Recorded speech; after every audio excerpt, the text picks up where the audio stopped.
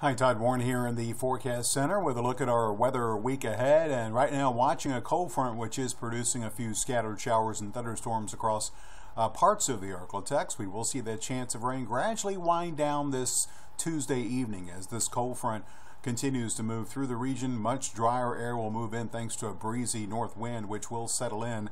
And you can see an area of high pressure moving into the middle of the country at the surface that is going to continue to supply us with that north wind probably through when, uh, through Thursday and as a result we will see the continuation of the dry conditions.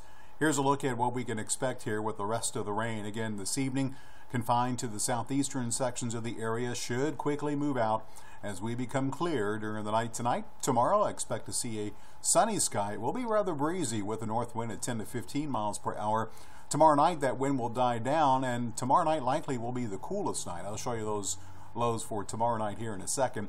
In the meantime, for Thursday, we will see lots of sunshine, still a bit of a breeze out of the northeast, but not as windy as what's expected uh, for tomorrow. As far as our forecast, looks like this. Again, the, the cooler air moves in, and it definitely will be cooler tonight across the area, as we'll see lows mainly in the upper 50s to low 60s, with some middle 50s over the north and western sections of the area. You can see the 58 in Texarkana, 61 in Shreveport. Tomorrow, looking at a rather breezy day, but a pleasant day, and it definitely will be cooler as we'll see highs in the upper 70s north to the lower 80s south. 82 tomorrow in Shreveport, 79 in Texarkana, and 82 for the high in Marshall.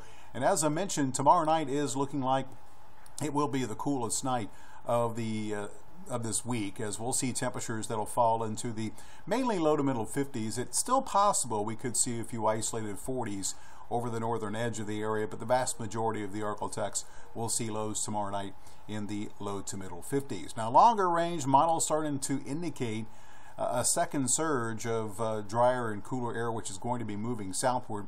You can see this first surge moving out. We gradually warm up heading into the weekend and into next week. And then a disturbance comes in from the west, could squeeze out a few showers here. I think it probably will hold off until Wednesday and probably linger into Thursday, at least that chance for some rain. Models are just now indicating this, so it's not yet set in stone. And then we'll see, uh, again, a little bit of a cool down late next week. So this is how it all comes together in your 10-day forecast. We will see cooler temperatures for the next few days, lows for the next several nights uh, once we get past tonight in the 50s, probably into the weekend. Daytime highs will be in the 80s, probably into the weekend. Lots of sunshine through Monday. Notice the warming trend as lows will return to the 60s by the end of the weekend. Daytime highs back up into the lower 90s. We will see the chance for the shower or thunderstorm more than likely Wednesday and Thursday, uh, with highs behind that disturbance retreating back into the middle 80s. So I don't know, it looks like a big taste of fall for the first day of fall tomorrow as sunshine returns with lower humidity and much cooler temperatures.